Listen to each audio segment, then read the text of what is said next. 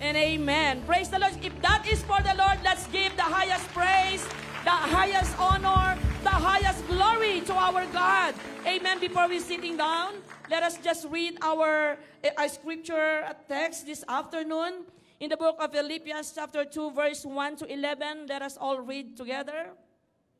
Therefore, if you have any encouragement from being united with Christ, if any conform from his love, if any common sharing in the Spirit, if any tenderness and compassion, then make my joy complete by being like-minded, having the same love, being one in spirit and of one mind. Do nothing out of selfish ambition or vain conceit, rather in humility, value others above yourself. Sige po, let's continue reading.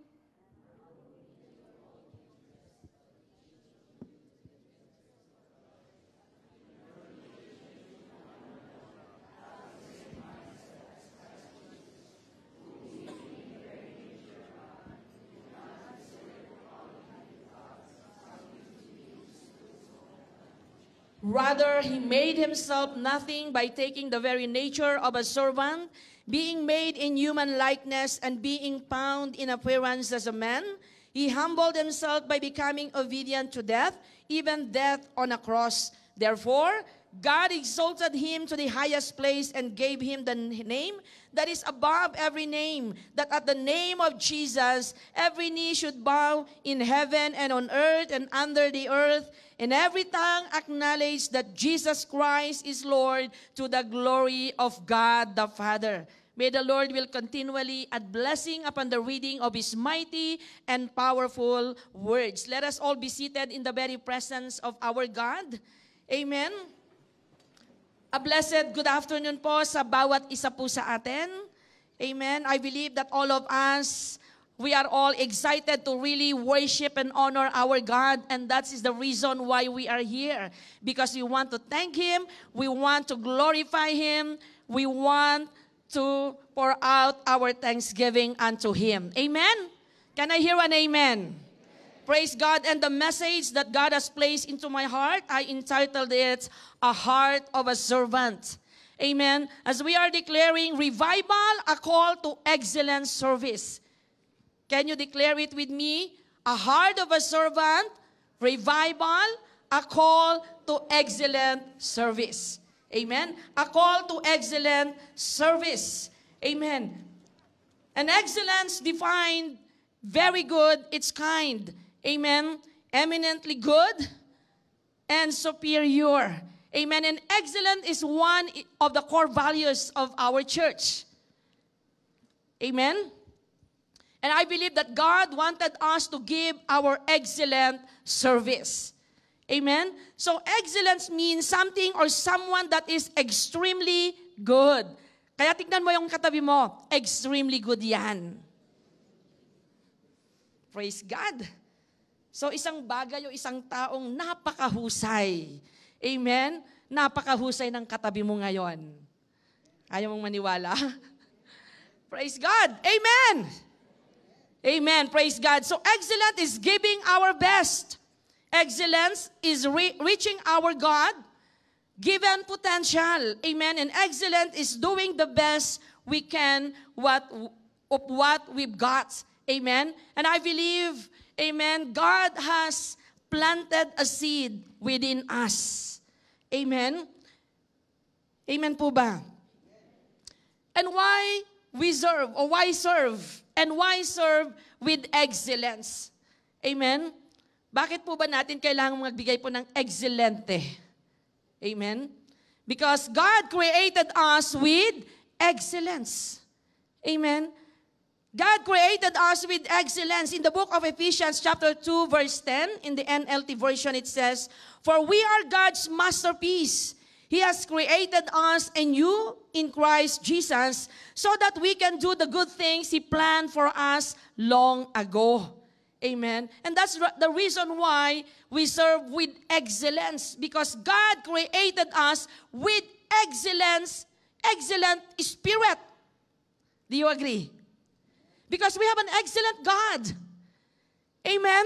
Another thing why we serve and why serve with excellence because God deserves our best. Amen. In Colossians chapter 3 verse 23 in the NCV version, in all the work you are doing, work the best you can. Amen. Work as if you were doing it for the Lord, not for people. Amen. Hindi po sa tao. Amen. And another thing why we serve or why we give our excellent service because God expect our work to be an act of worship.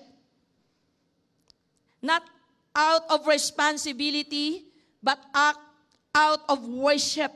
Amen. In the book of Romans chapter 12 verse 1, so brothers and sisters, since God has shown us great mercy, I beg you to offer your lives as a living sacrifice to Him. Your offering must be only for God and pleasing to Him, which is the spiritual way for you to worship. Amen? Napakalinaw. Amen? So our work is not work. Amen? But it's worship. Amen? We should be the hardest workers. Amen? Yes, that's the different from overwork. Wala naman pong overwork dito, no? Tignan mo yan katabi mo, baka overwork. Amen. So we know who we are in the very presence of our God. Amen. With the best attitude, always striving to do our best.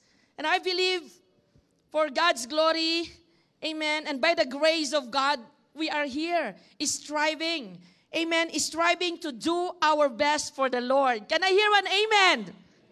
Amen. To reach our potential because we aren't working for a church or a company. Amen. But we are working in worshiping our God. Kaya kapag ikaw ay nag-worship kay Lord, all out. Amen. Bigay todo. Amen. You are not holding back. Amen. But you give your all out worship to our God. We give our humble worship to our God. Amen. Pag nakakita mo the very big the bigness of our God, you will be more humble in the very presence of God. Do you agree?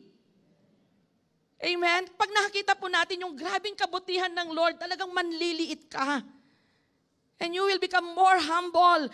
And you are you can give your humble worship to our gods.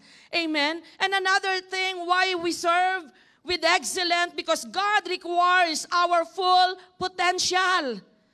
Amen.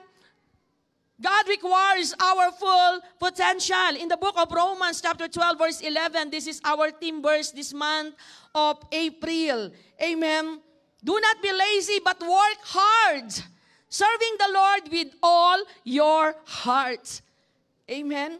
Serving the Lord with all our hearts. That's why there is a reminders, amen. Excellence does not mean perfection. Although they are often used together or assumed to be together, a perfectionist would walk through a rose garden and focus on the weed, not the bouquet in front of them. And here are a couple of examples, amen, ano, yung nakalagay, po dyan, amen, nabubulol po ako, excellence motivates you. Amen. But perfectionism, perfectionism paralyze you. Amen. Another thing, excellence is a cure and perfectionism is a disease. Amen. So one our team this month, Amen, Revival, a call to excellent service, makes me realize that it is really impossible for us to give an excellent service without dealing our heart first. Do you agree?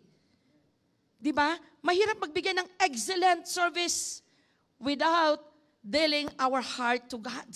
Amen. Because our heart is very important. It is really matters to God when it comes to service.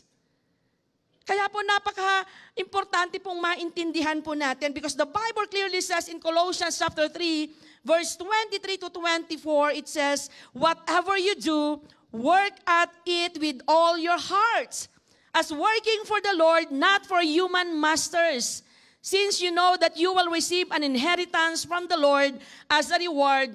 It is the Lord Christ It is the Lord Christ you are serving. Amen? Para hindi po tayo mapagod. Amen? And for us to have a heart of a servant, let's take a look and understand the meaning of servant. Amen? So the word servant or service or serve in the various form occur well over 1,100 times in the New Testament. Amen. People are servant of other human beings or servant of God. Amen. In the Old Testament, the Hebrew word for servant is ebed. That contains at least two key ingredients, actions. So the servants as worker, amen, and obedience. And servants belong to other people. Amen. In the book of Genesis chapter 24 verse 35 and also in the book of Exodus chapter 21 verse 21 and perform a variety of work. Amen. So, makikita po natin in the Bible, in the Old Testament time, even in the New Testament time, many persons in the Old Testament are called servants. Amen. Through the life of Abraham, Jacob, Amen, Joshua, Samuel, King David, Amen, even Hannah. Napakarami pong Bible character. Amen na talagang naging uh, servant po ng ating pong Panginoon. And let's let's take a look what does uh, how, how servant is being described. Amen? In the Bible. Amen? So servant is a person who perform duties for others. Amen? Such as a person employed in a house on domestic duties or a personal assistant. Amen? A person employed in the service of a government. Amen? Di ba? Pero madalas kasi pag sinabing servant, di po ba lalo na po sa ibang bansa, we are called like domestic helper. Ako po, nagtrabaho po ako sa Hong Kong for 16 years. And uh, uh, dito rin po sa Canada, amen, as a nanny, amen, for 5 years. So, like more than 20, more than 20 years of my life. Amen. Talagang naglingkod po tayo. Amen. And I can really relate no, kung ano pong ibig sabihin ng servant. Amen. So a devoted and helpful follower or supporter. Amen. A person willing to serve for others. Amen. So now the question here is, do you really want to serve God? May kausap po ba ako? Do you really want to serve God? Are you truly decided no, to serve the Lord? Challenge accepted. Di ba sa Facebook nga, challenge accepted. What about in serving God? Amen? Siguro iniisip nyo pa lang, naku, servant, mahirap yan, Sister Marian. Di po ba? Lalo na po rito yung mga talagang nagtrabaho po as a domestic helper in Saudi Arabia, amen, in uh, Hong Kong, in Taiwan. Hindi po madali ang buhay ng isang uh, domestic helper. Amen. In the book of Matthew chapter 20 verse 26 to 28 in the NLT version it says, Not so with you, instead whoever wants to become great among you must be your servant. Amen. And whoever wants to be first must be your slave. Just as the Son of Man did not come to be served, but to serve and to give his life as a ransom for many. Amen. So the Bible clearly says that if you want to be great, You must be a servant of all. Amen. Now, if I may ask you again, the second time around, do you really want to be a servant? Malamya pa rin yung inyong amen. Hindi kayo excited. Pero pag blessing talaga namang oh, eh, talagang with all ano, all energy. Di po ba? I believe no all of us are decided to really serve the Lord our God. Challenge accepted? Amen. Amen. How do I serve God? With the heart of a servant. Kasi sabi ko nga po, it is really impossible for us to give an excellent service to our excellent God without dealing our hearts. Hindi mo pwedeng ibigay ang excellent service. Amen. Without dealing our heart first before the Lord. Amen. Now, how do I serve God with the heart of a servant? Amen. Number one, willingness to serve with a humble heart. Amen. Serve with a humble heart, with all humility. In the book of Ephesians chapter 2 verse 3, 8, ito po yung ating pong verse. Sabi po dito, do nothing out of selfish ambition or vain conceits. Rather, in humility, value others above yourselves, not looking to your own interests, but each of you to the interest of the others. In your relationship with one another, have the same mindset as Christ Jesus who being in very nature gods, did not consider equality with God something to be used to his own advantage. Rather, he made himself nothing by taking the very nature of a servant, being made in human likeness, and being found in appearance as a man. He humbled himself by becoming obedient to death, even death on a cross. Amen. Kaya po ba natin yon? Yes, we can. Amen. Through the help of our gods. Amen. Because greater is in us than he that is in the world. Amen. And we can do all things through Christ Jesus who give us the strength. Amen. So what does it mean to be humble with gods? So humility in the Bible is presented as the practice of meekness Amen. Obedience to God's respect of self and others. Amen. Submissiveness and modesty. In, in the book of Colossians, chapter 3, verse 12 to 13, it says, People with humility put others' need before their own.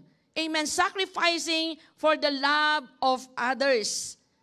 Amen. Ano pong sabi diyan? Therefore, as God-chosen people, Amen, holy and dearly loved, clothe yourself with compassion, kindness, humility, gentleness, and practice. And that's why it is really important for us to have this kind of spirit. Amen. The spirit of servanthood. Amen. The spirit of humility must be seen in our life. Can I hear an amen? And let's see the evidences of a humble heart. Ano po ba ito? Dapat ito po yung nakikita po sa buhay po ng isang lingkod ng Panginoon. Amen? Number one evidence is the humble heart understands dependence upon God.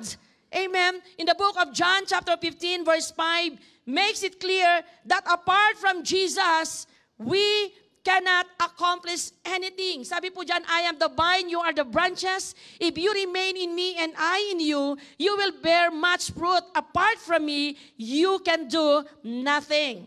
Amen? So it is really it, very clear, amen, that apart from Jesus, we cannot accomplish anything of eternal value. We really need God in our life. It is impossible to do God's will, amen, and to store up treasures in heaven if we think that we are fully able without our God.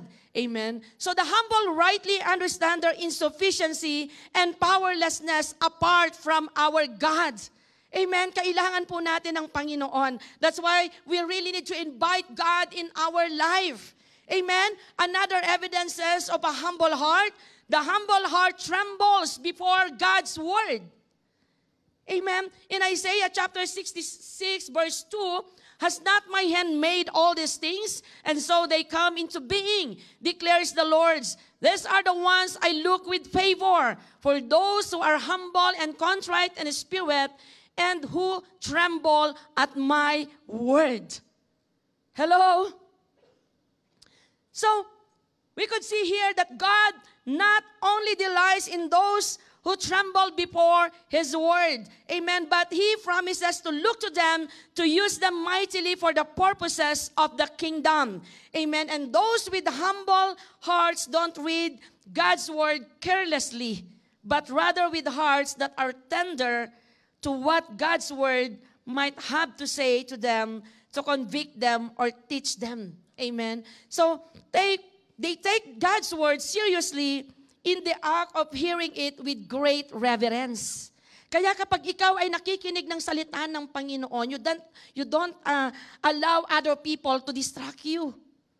Because you want, you give honor, you give reverence in reading the very word of God and listening to the very word of God na kahit inaantok ka na, 'Di ba? You are trying to to receive no with understanding the very word of God.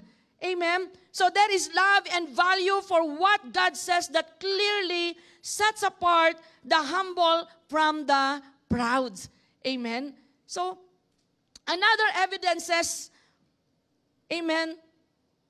For a humble heart, amen, is willing, the humble heart is willing to go, not to, to, to own up to sin or acknowledge sin. Amen. As just like uh, Isaiah, prophet Isaiah modeled in Isaiah 6.5. Sabi po dyan, Woe to me, cried, I am ruined, for I am a man of unclean lips, and I live among a people of unclean lips, and my eyes have seen the King, the Lord Almighty. Amen. So we could see through the life of Isaiah, no, the humble heart, a humble heart is willing to acknowledge our sin. And the Bible clearly says that if we confess our sins, God is faithful and just to forgive us and cleanse us from all our unrighteousness. Amen. Another Another evidence says, amen, of a humble heart. So the humble heart is willing to acknowledge human weakness so that Christ can show himself to be strong. Amen. And Paul rightly understood that God's power is perfect, perfected in our weaknesses and that it is in our weakness that he can be strong. Amen. In the book of Second Corinthians chapter 12 verse 9 to 10. Ano pang sabi po diyan? But he said to me, My grace is sufficient for you, for my power is made perfect in weakness. Therefore, I will boast all the more gladly about my weaknesses, so that Christ's powers may rest on me.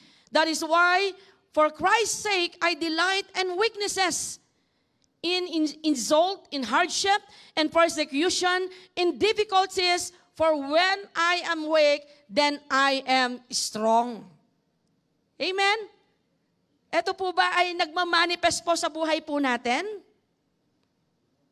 Palang wala po akong kausap ngayon. God allowed Paul to suffer so that he would not be tempted to exalt himself.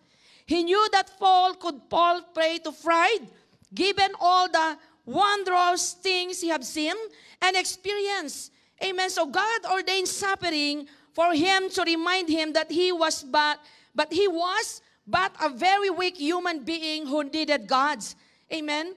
Who needed God for everything. So we need to remember our weakness if we want to let Christ be strong through us. Remember the Bible clearly says, amen, that God uses the weak, the weak things to shame the strong.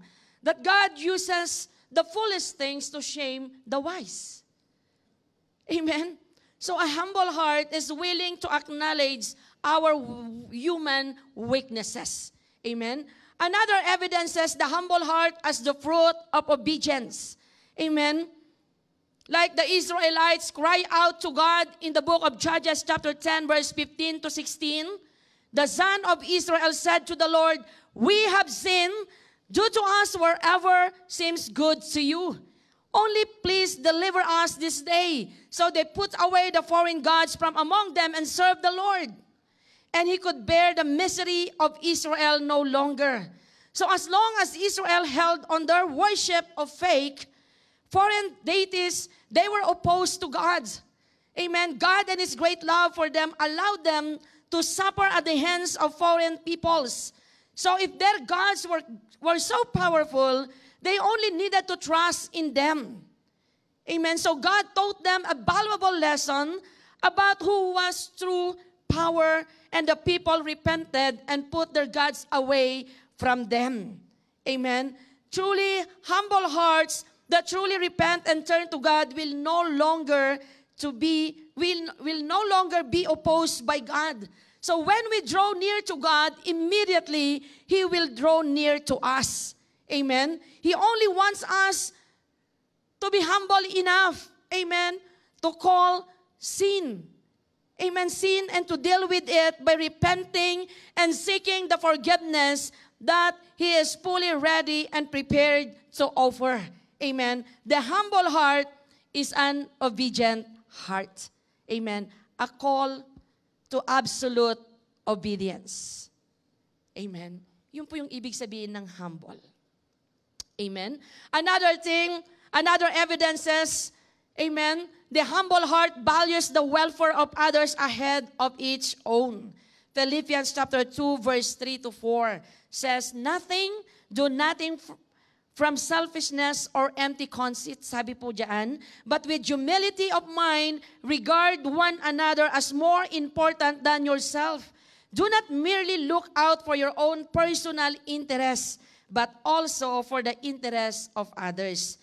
The humble heart are cognizant of the needs of others, and they are willing to sacrifice so that others can be ministers too. Amen. And the last evidence, the humble heart accept the role of a servant.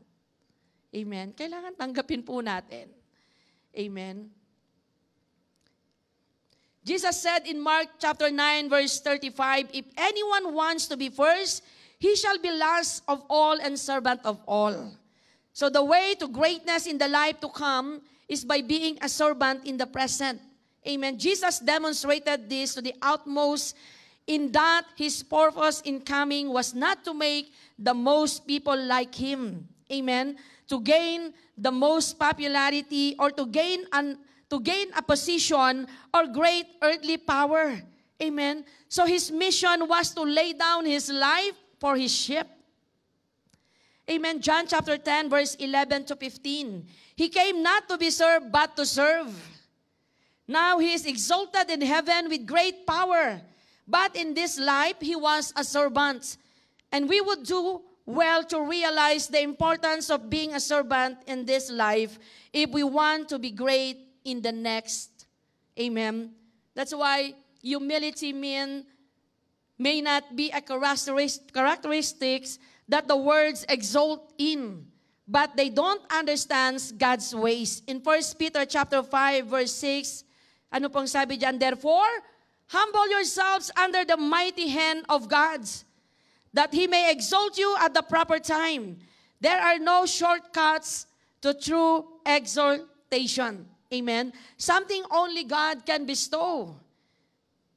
Amen. What is sure is that those who are humble in heart, in heart will, at the proper time, be exalted. Amen. And if we want to truly be exalted, we need to be truly humble. Be humble. Amen. Saying without our Savior, the ultimate expressions of humility, our Lord, not my wills, but yours be done. Amen.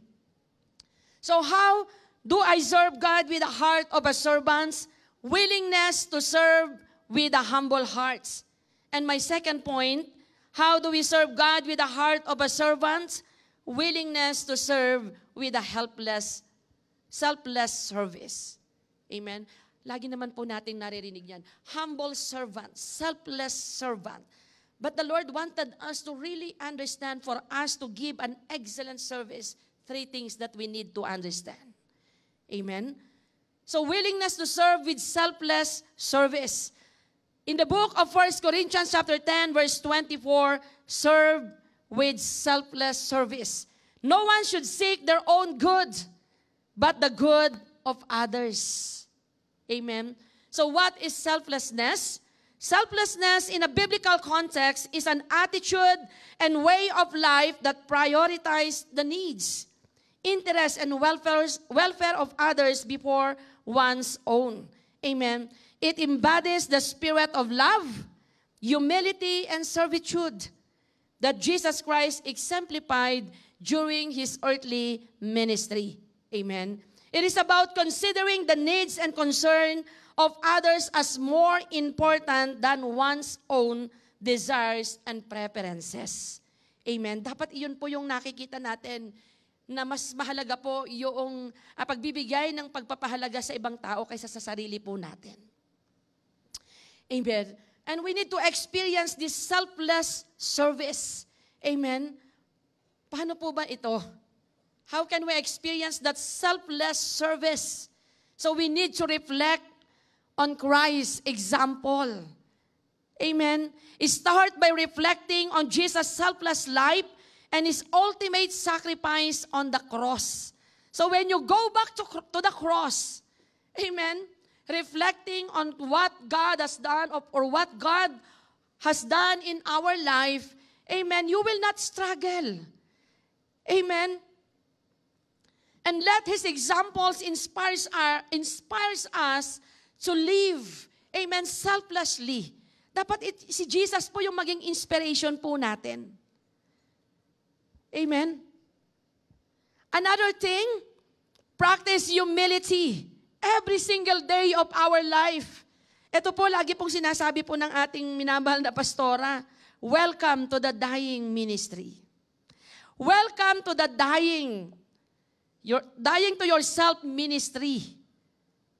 Galatians 2.20, I am crucified with Christ. I no longer live, but Christ lives in me. Di ba?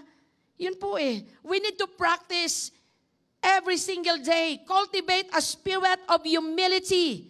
Philippians chapter 2 verse 3 encourage believers to count others as more significant than themselves. Amen. This requires acknowledging our own limita- limitations and imperfection. Amen. Kailangan ito makita lagi. Maisa ka pamuhay po natin every single day. Another thing, put love into action. Amen? Di ba? We, uh, we always um, heard, amen, here that, uh, that uh, praise, amen, put love into action or love is action. Di ba yung ganon? So love is at the one, is at the core of selfishness. Amen. Actively demonstrate love by showing kindness, compassion, and generosity to those around you. Amen. Nagagawa po ba natin ang lahat ng ito? Hello? Another thing that the Lord wanted us to experience selflessness we need to serve others. Amen. Look for opportunities to serve others without expecting anything in return. Amen. Acts of service can range from helping with, with chores to volunteering in their community. Ano po ba yung mga ginagawa po natin to serve other people? Marami po, visiting hospitals, praying for them, Di po ba? Or sometimes, we cook food for the sick. No, marami po tayong ginagawa. Amen? So, serve others. Another experiencing selflessness, practice active listening. Make an effort, truly listen to others. Often people need someone who will genuinely hear their concerns and feelings. Kahit yung makinig ka lang, malaking bagay na yon. Pero make sure, no, na yung pinakikinggan mo ay hindi hindi po yung gossip ha. Hello? Be empathetic. Seek to understand the experiences and emotions of others. Because empathy helps you connect with people on a deeper level and responds to their needs effectively. Amen. Ito po mga napakasisimple Another thing, give freely. Be willing to give without expecting repayment. O, tinulungan kita ngayon, dapat balik mo yan, ha? Diba? Ano yan, 5, 6? So this includes materials possession, time, and emotional support. Amen? And the last thing, forgive and let go. Life must move on. Amen. Release grudges and forgive those who have wronged you because forgiveness is a selfless act that promotes healing and reconciliation. Amen? Can I hear an amen? Meron pa po pala. Pray, pray for selflessness. Amen. Ask God to cultivate a selfless here, a selfless heart within you. Pray for the strength to consist, consistently prioritize the needs of others. And the last, accountability and reflection. So regularly assess your actions and motives.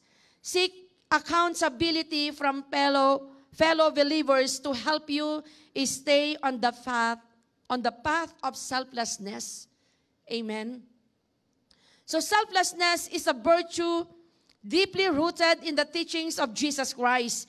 It involves prior, prioritizing the well-being of others. So practicing humility and demonstrating love through selfless action. Amen.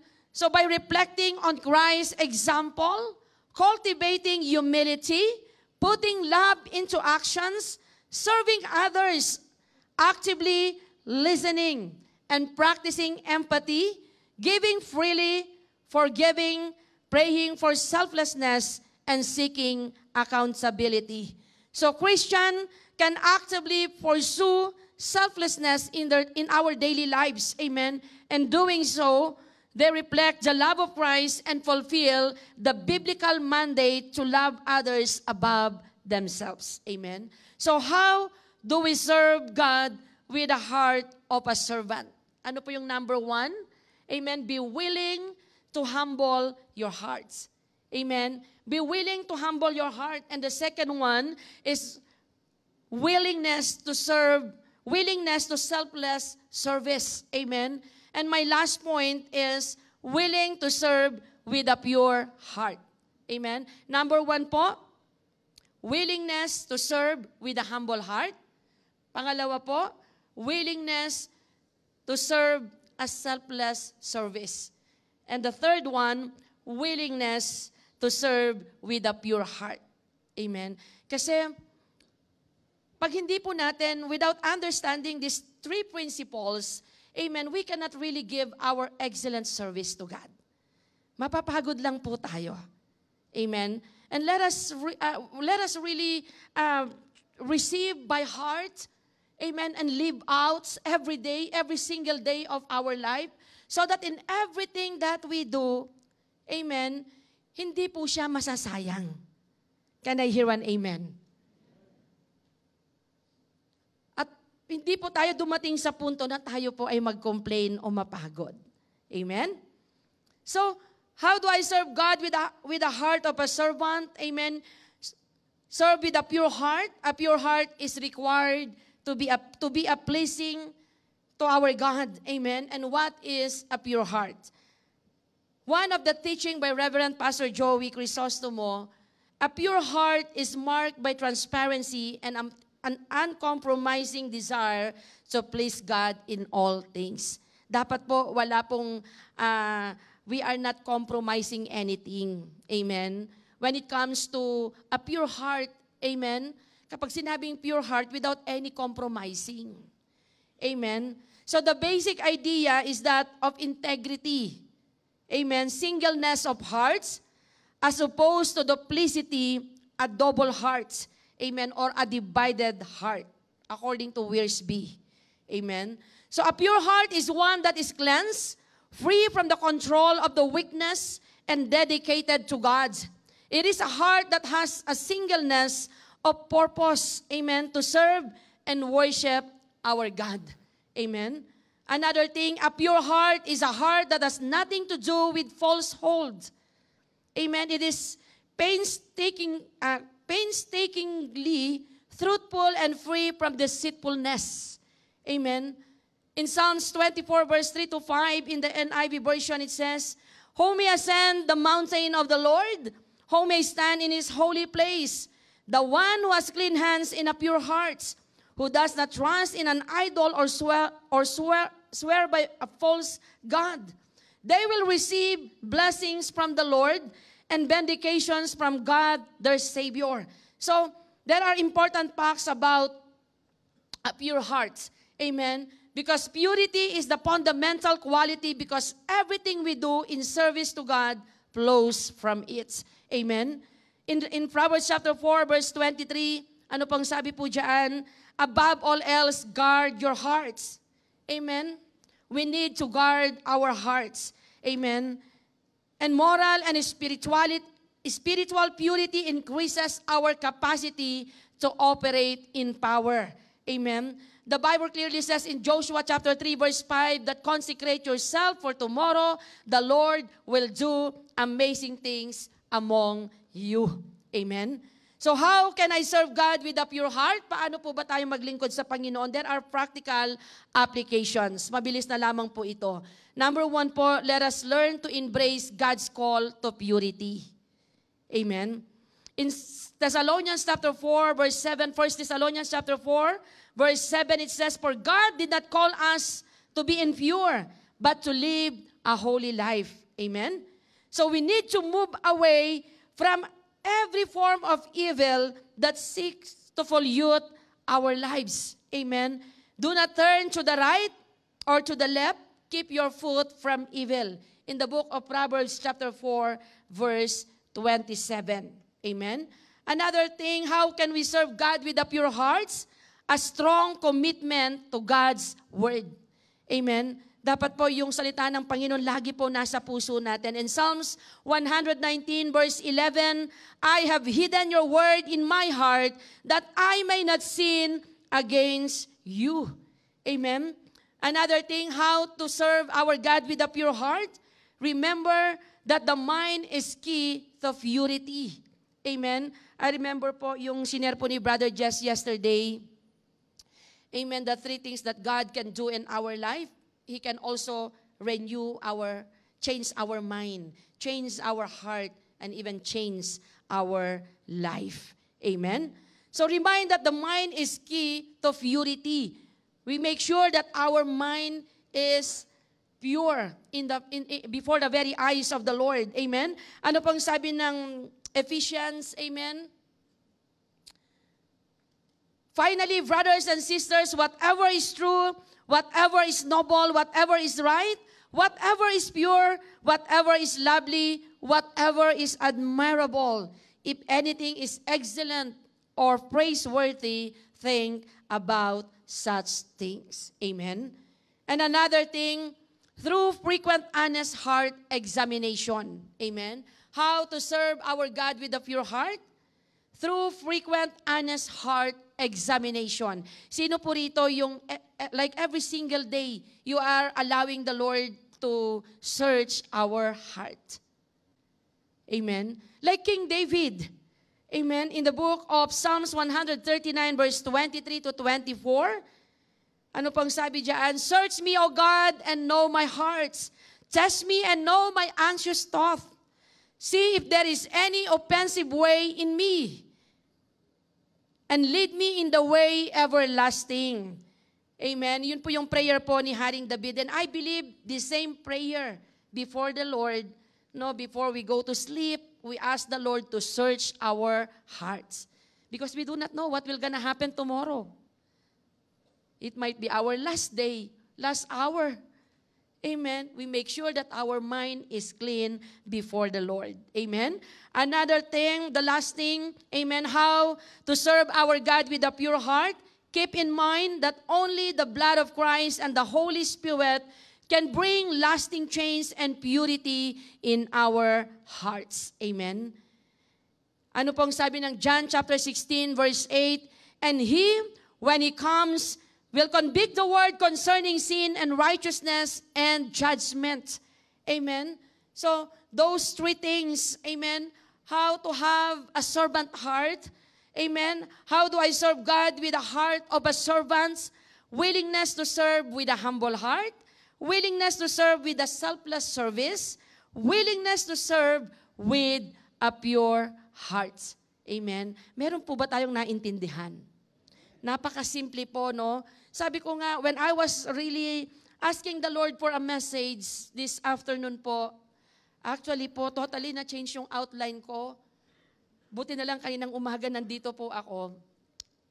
From morning, nag-break lang ako ng lunch para matapos po yung aking outline. Sabi ng Lord, the Lord just impressed into my heart, tell to my people, in order for them to give an excellent service, three things that I would like them to know and understand.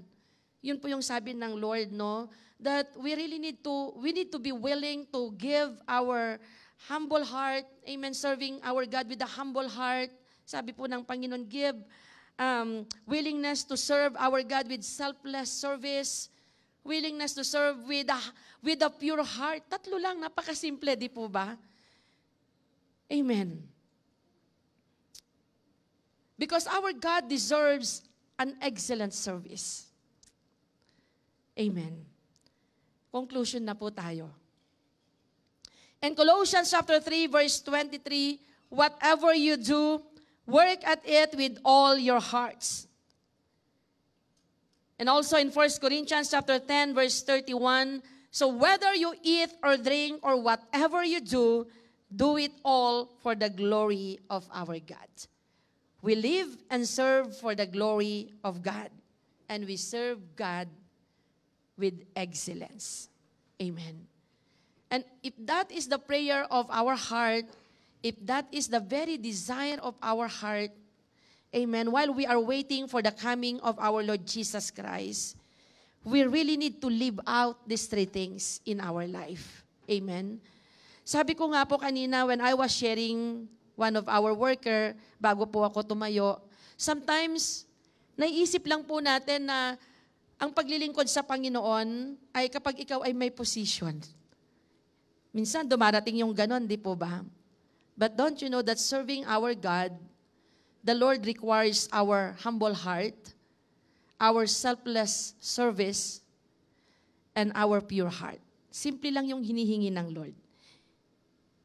Hindi mo naman kailangan na maging worker ka bago ka maglingkod kay Lord, di po ba? Hello? Ito lang po yung simple po na ito. And I believe po we have learned something this afternoon. God is not done yet in our life. The Bible clearly says in Philippians 1:6 that he who began a good work in us, he will carry it into completion until the day that he will come again. The Lord wanted us to give our excellent service because God deserves it. And if we truly love our God, we can give these three things. Even though your leader may not notice it, but there is one important audience in our life in serving God. Sino po yung napaka-importanting audience po natin? No other than our Lord Jesus Christ. Amen. Sige po, let us all stand up in the very presence of our God.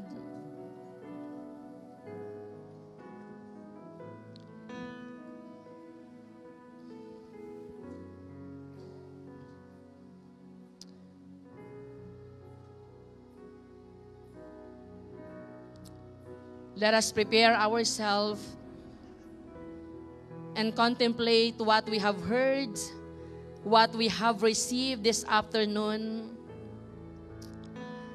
I know and I believe that the message of the Lord is so clear to each and every one of us. And as we are declaring revival, a call to excellent service, I believe that every single person in this sanctuary, the Lord designed us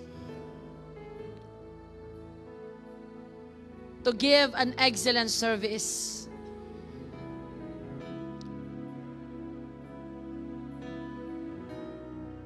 And in order for us to respond on the call of God, we really need to ask the Lord to give us a humble heart, a selfless heart, and a pure heart. And let us allow the power of God to move in our enter being this afternoon. Yes, napakasimple po ng message ng Panginoon, but this message will bring us onto what God wants us to do in our life, in our service unto Him. And I really encourage you all to serve our God the best that we can because we do not know what will gonna happen tomorrow. Let us give our utmost service to the one who, who saved us, to the one who loved us. Because God deserves an excellent service from His people. Yes.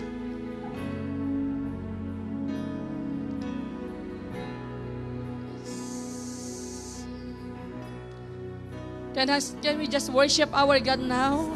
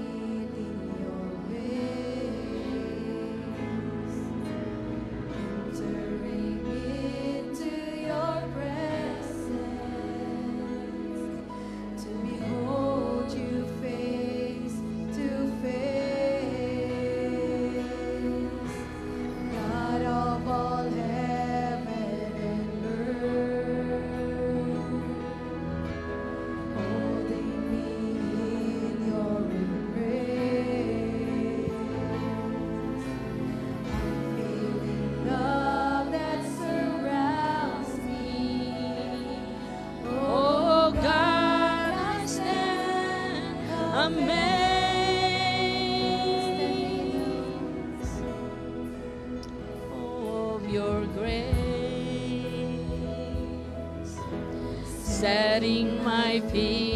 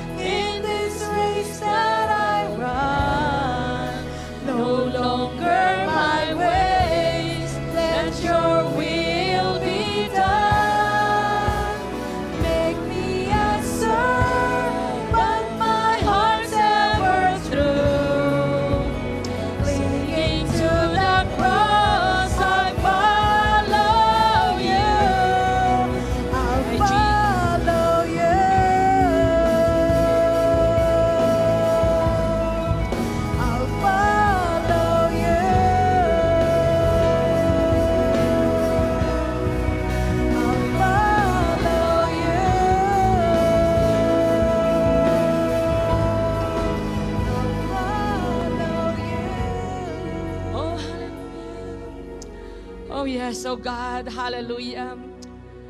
Hallelujah, Jesus.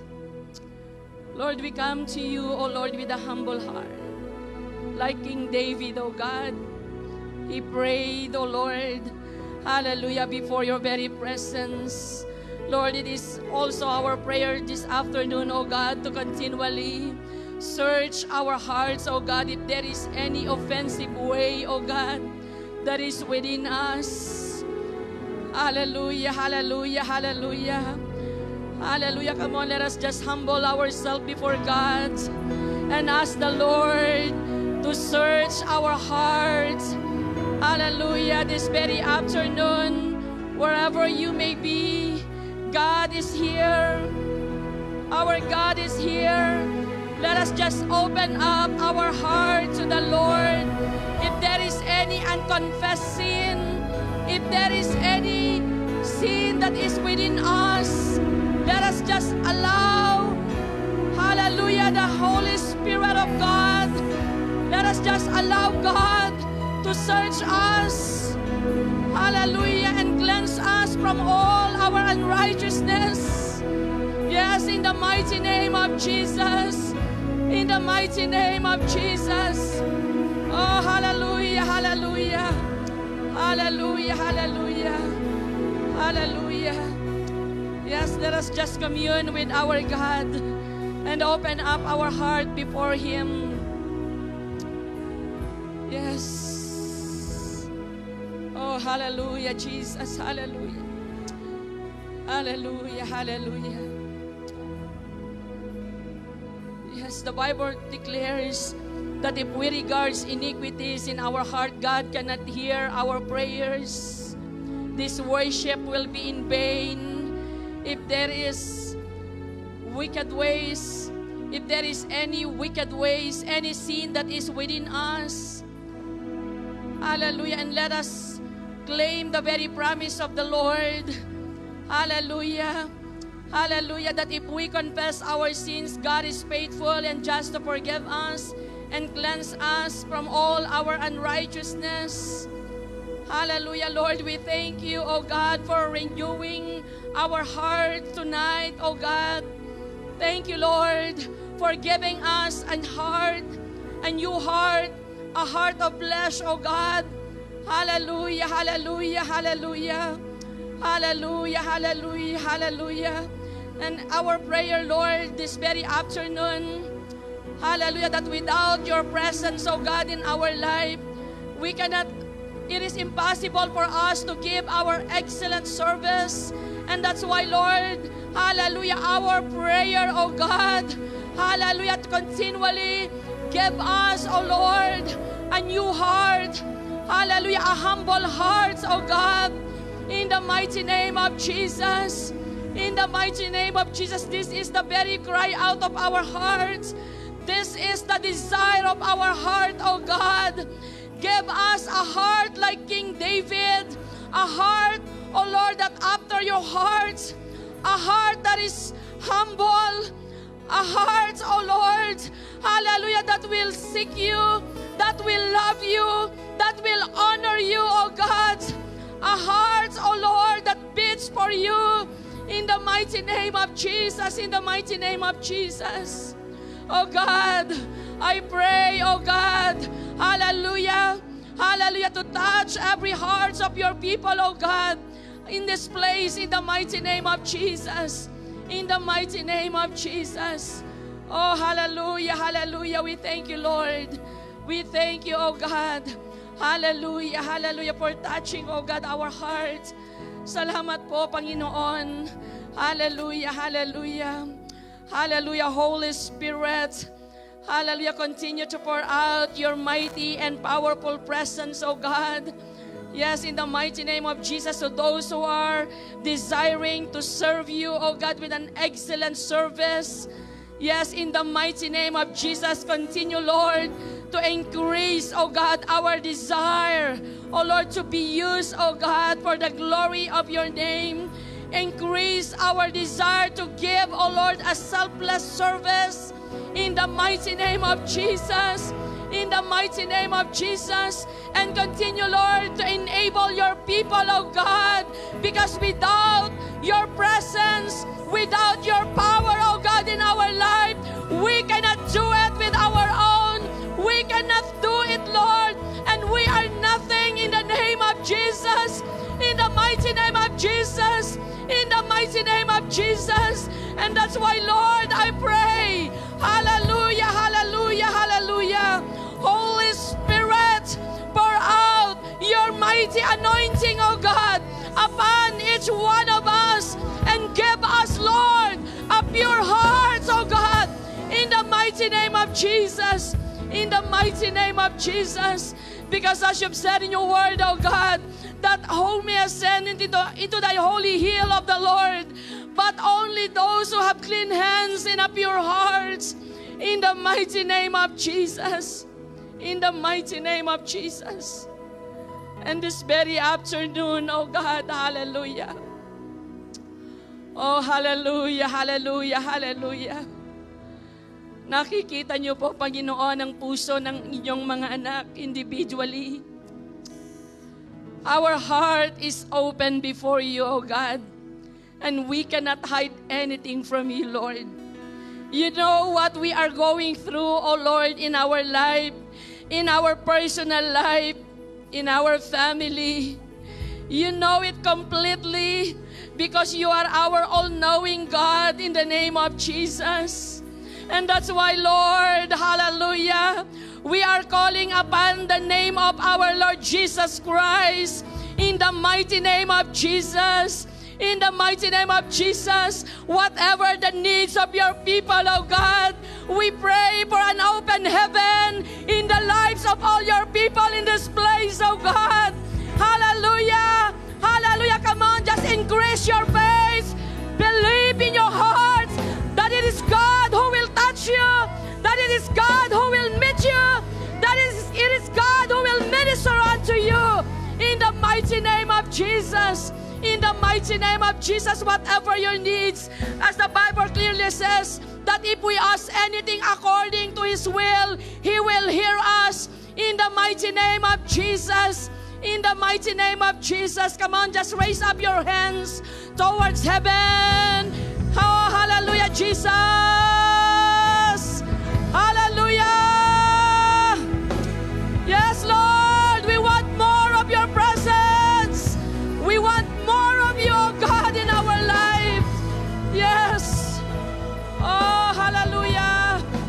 Hallelujah, Jesus. Hallelujah, hallelujah, hallelujah. Yes. My Jesus, my Lord,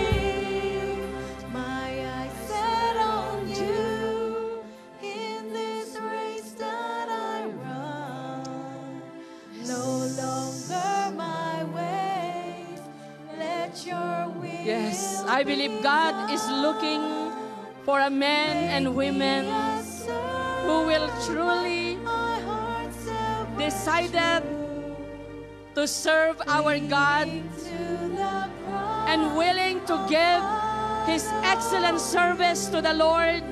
And if you are that person, just raise up your hands towards heaven right now. Yes. Hallelujah, hallelujah, hallelujah. If you want to the challenge to serve our God with an excellent service, yes. Hallelujah. The Lord is not done yet. The Lord is not done yet. He is about to pour out His power over your life. Yes. Just have faith. Have faith and believe that you have received it. Yes, in the name of Jesus.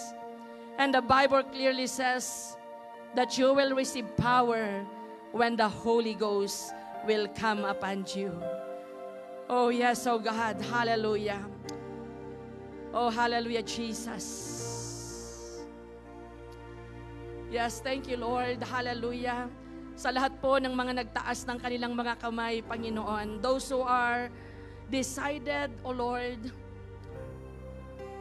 those who accepted the challenge, O Lord, to serve you with an excellent service, Lord, I pray in the mighty name of Jesus, as you have promised us, Lord, that you will go before us even to the very end of the age. You will never leave us nor forsake us, O God, in the mighty name of Jesus. And we thank you, Lord, hallelujah, even, O God, for meeting all our needs this afternoon. I know and I believe, O Lord, that as we seek first your kingdom and your righteousness, O Lord, all things will be given unto us in the name of Jesus. Father, we thank you, O Lord, for all the answered prayers. We thank you, Lord, for your powerful words.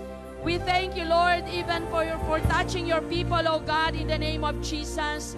Lord, we thank you, O God, hallelujah, for everything, Lord, that you have done in our life and even, Lord, in the lives of all your people in the name of Jesus. Father, continue to seal all the victory, O Lord, that we have received. Father, we thank you, we honor you, and we love you. This all we ask in Jesus' mighty name we pray. Amen.